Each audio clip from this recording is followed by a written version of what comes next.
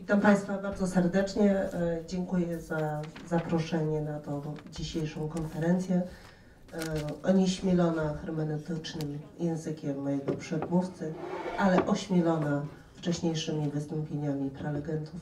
Przechodzę zatem do próby udzielenia odpowiedzi na konkretne pytania. Otóż em, celem mojego wystąpienia jest e, również opowiedzenie Państwu o tym, jak przebiegał pomiar i co wynika e, z danych uzyskanych w trakcie przeprowadzonego pytania. Natomiast e, na początek chciałabym zapewnić i Panią Profesor, ale przede wszystkim wszystkich obecnych, że ponieważ wysłaliśmy zapytanie do wszystkich podmiotów zobowiązanych do odpowiedzi, e, do odpowiadania na zapytanie o informację publiczną, badanie to było badaniem pełnym.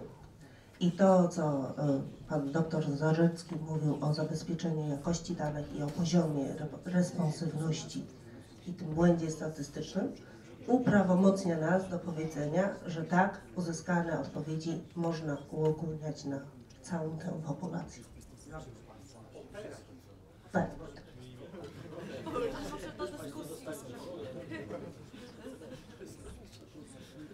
E, Badanie to było prowadzone e, metodą badania ilościowego. Mieliśmy bardzo krótko, krótki czas na jego przygotowanie, jak również krótki czas na jego przeprowadzenie. Z tego też względu zastosowana technika Kelly okazała się idealna do tego typu projektu badawczego. Otóż w sposób zdalny mogliśmy dotrzeć do wszystkich tych podmiotów, które są zobowiązane do uczestnictwa w tym e, instrumencie prawnym. Za główny cel stawialiśmy sobie możliwość dokonania eksploracji, opisu, wyjaśnienia e, tego problemu w parametryczno-wskaźnikowej analizie danych. Mieliśmy wieloczynnikowe statystyki. E, Dokonywaliśmy wielokrotnych e, analiz korelacji zmiennych metryczkowych ze zmiennymi uzyskanymi poprzez stawianie konkretnych pytań co dało nam możliwość sformułowania pewnych tez, w pewnych przypadkach potwierdzających, w innych nie uzyskaliśmy takiej możliwości do pozytywnej weryfikacji stawianych hipotez na początku badania. Struktura grupy w pełnym stopniu odzwierciedlała strukturę populacji.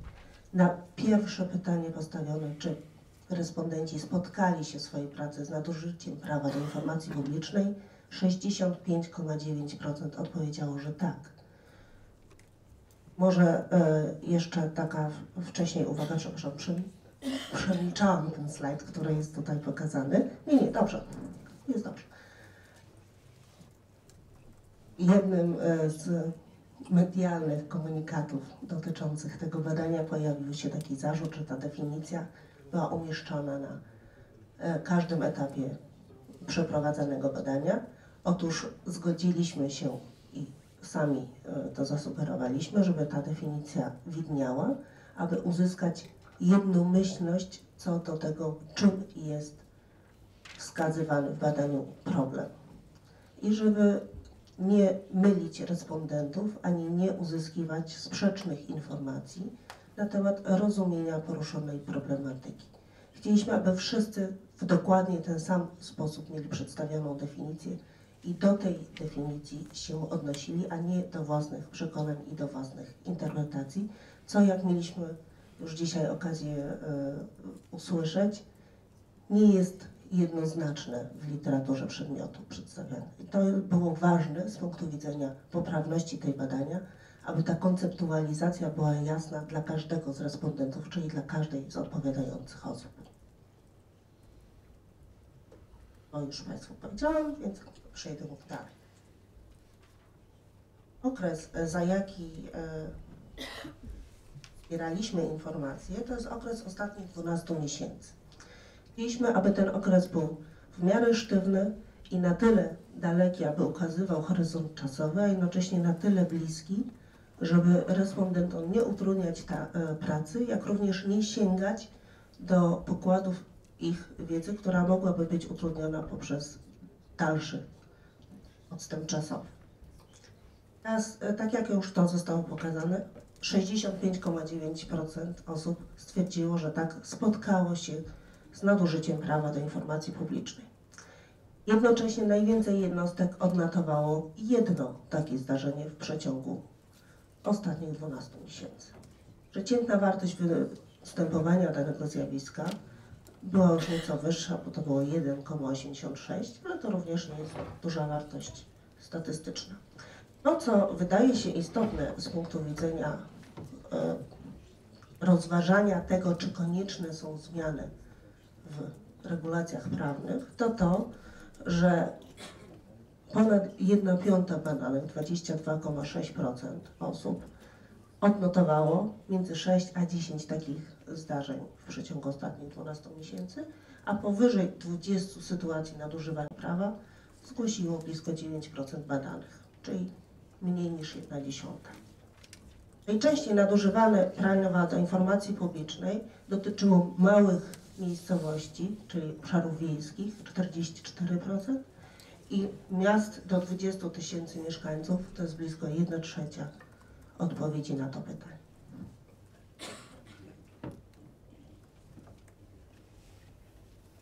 Co do hipotezy y, dotyczącej tego, że wielokrotnie zdarzają się zapytania składane przez ten sam podmiot, czy to osobę fizyczną, czy organizację pozarządową, czy instytucję publiczną, no, chcieliśmy również zweryfikować tę hipotezę i przedstawiliśmy ją e, w kilku pytaniach. Pierwsze z nich było takie, czy spotkał się Pan, Pani z sytuacją, kiedy ten sam wnioskodawca występował więcej niż raz do informacji publiczną w krótkim okresie czasu. I ten krótki okres czasu również został tutaj zdefiniowany. Ten raz na kwartał wydaje nam się wystarczająco krótkim odstępem y, czasowym w perspektywie roku, o który pytaliśmy. Twierdząco odpowiedziało 68,6 badanych, przy czym jest to niemal dwukrotnie więcej niż y, tych podmiotów, które odpowiedziały w odmienny sposób na to samo pytanie. I ta silna dysproporcja podnosi y, tutaj poziom tego zjawiska. Najsilniejsze dysproporcje w tych odpowiedziach dotyczyły urzędów gmin, gdzie 58,5% przedstawicieli gmin spotkało się z taką sytuacją, a mniej niż 1 piąta, 18,3% nie potwierdziło występowania tego zjawiska. Najczęściej wnioski pojawiały się dwukrotnie w przeciągu kwartału składane przez ten sam podmiot. Częstotliwość składania tych zapytań macie Państwo na slajdzie. Najwięcej osób zaznaczyło, że ten sam podmiot występował informację publiczną raz na kwartał częściej. Co do wielkości usytuowania instytucji, do której składano zapytanie, to 3 czwarte odpowiedzi twierdzących pochodziło od urzędu gmin.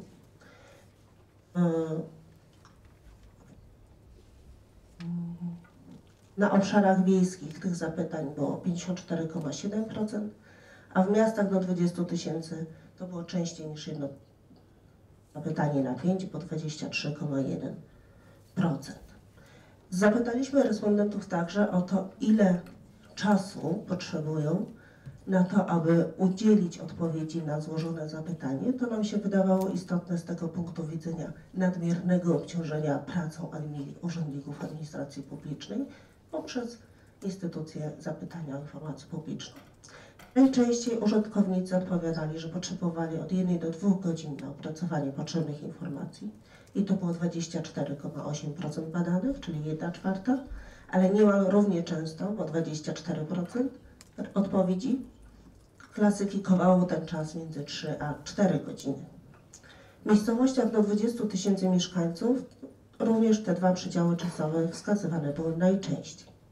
Pozostałe wskazania nie były aż tak istotne ze statystycznego punktu widzenia.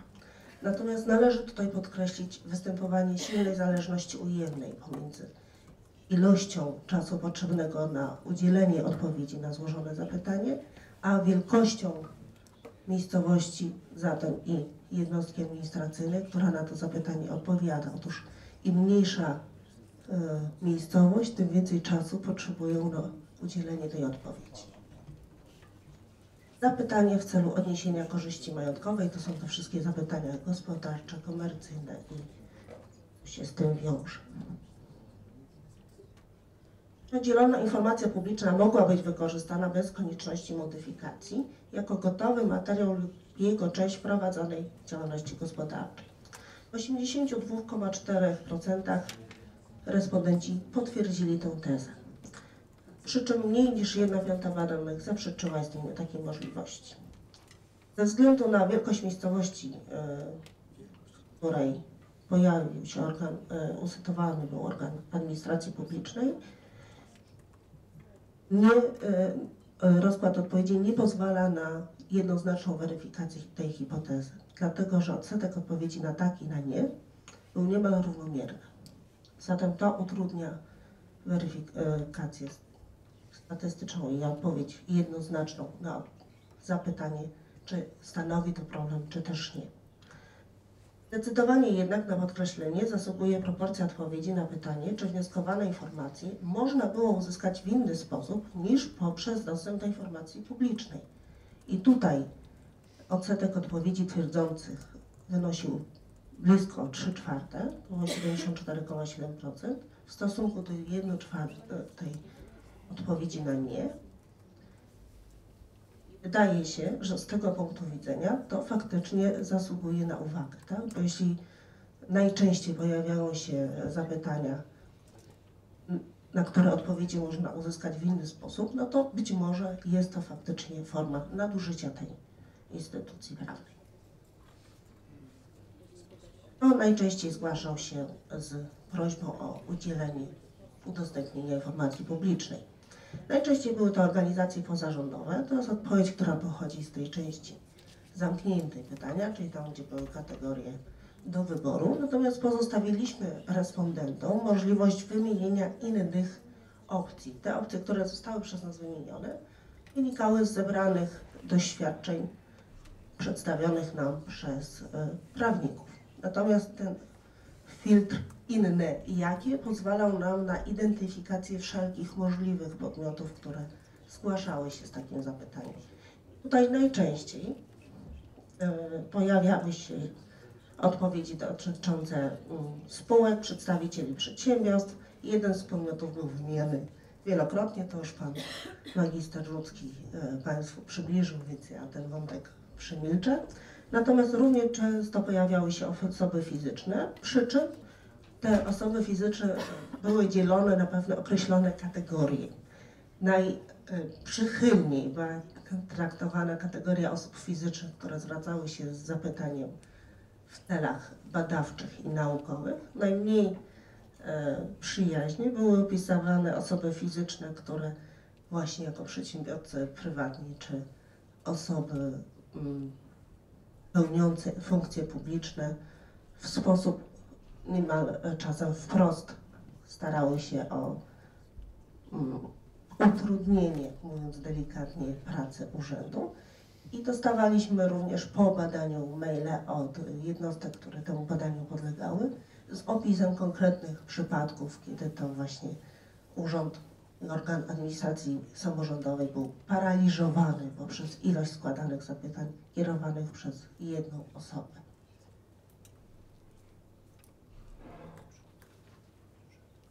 To, co zostało zapowiedziane i winna Państwu jestem jeszcze e, odpowiedź na ten temat, e, to jest ten roboczo nazwany przez nas filtr nie, czyli analiza odpowiedzi osób, które mimo, że w pierwszym przypadku zaznaczyły, że nie spotkały się z instytucją nadużycia prawa do informacji publicznej, w kolejnych pytaniach ich odpowiedzi mogą wskazywać na to, że w istocie spotkały się z pewnymi sytuacjami charakteryzowanymi jako wskaźniki występowania tego zjawiska. I tak, e, podmioty, które tak twierdziły, jedna czwarta z nich, uważa, że pozyskiwane dane mogły być użyte w celach komercyjnych i to być może nie jest jeszcze niczym złym, ale już 82,1% tych samych podmiotów twierdzi, że mogły zostać użyte bez dalszych E, manipulacji i przeróbek jako baza danych wykorzystywana w celach komercyjnych.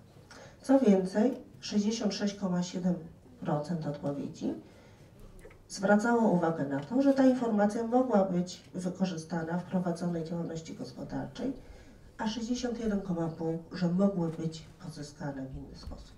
Myślę, że te dwa wskaźniki e, mogą tutaj sugerować na to, żeby przyjrzeć się bliżej tej instytucji prawnej. Jakie wnioski ogólne zatem mm, jako e, socjolog mm, mogę tutaj Państwu powiedzieć? Przepraszam, wiem, że nadużywam, ale myślę, że to została odpowiedź, na którą i tak Państwo czekacie, więc już to teraz e, jakby abs- wyprzedzając dyskusję e, chciałabym to powiedzieć. E, Teza o nadużywaniu prawa do informacji publicznej w odbiorze instytucji zobowiązanych do jej udzielania została w pewnym stopniu potwierdzona. Ma to miejsce zwłaszcza poprzez próby pozyskiwania informacji dostępnych w inny sposób na zasadach komercyjnych, czyli tworzenie baz danych z uzyskanych informacji, które tak naprawdę y, można pozyskać także poprzez inny instrument prawny, ale obarczony kosztami. E, Badanie nie potwierdziło jednoznacznie możliwości wykorzystania tej instytucji prawnej w sporach prawnych z organami państwowymi bądź personalnych z przedstawicielami instytucji.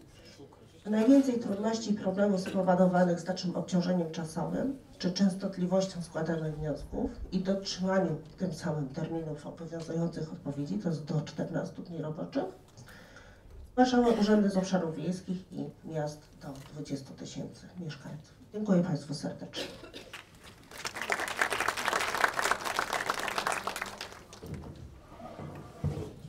Bardzo e, dziękuję za przedstawienie wyników. Oczywiście ten, il, ta ilość, e, ten wybór respondentów no, powoduje, że w jakiś pewien ostrożny sposób musimy podchodzić do tych zjawisk, bo to są te podmioty zobowiązane.